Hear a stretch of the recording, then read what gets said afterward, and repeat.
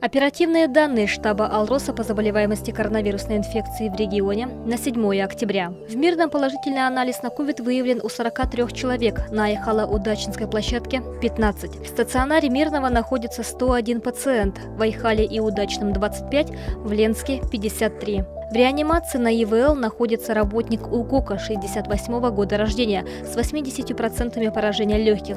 Состояние крайне тяжелое. Сегодня ночью скончалась невакцинированная работница ЦСА 62 года рождения. На амбулаторном лечении с диагнозом COVID-19 в Мирном находится 463 человека, на Айхало-Удачинской площадке 158, в Ленске 81. 18 545 работников Алроса прошли полный курс вакцинации от коронавируса.